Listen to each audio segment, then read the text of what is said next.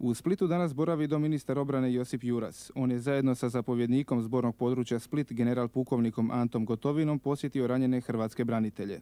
Tom prilikom čestitao im je na hrabrosti koju su iskazali za vrijeme operacije Oluja i zaželio im što skoriji oporavak. Hrvatski borci ranjeni u oslobađanju domovine liječe se u bolnicama diljem Hrvatske. U bolnicama u Sisku i Splitu posjetili su ih njihovi zapovjednici. Osmijeh na licu, stisak ruke i samo dva pitanja.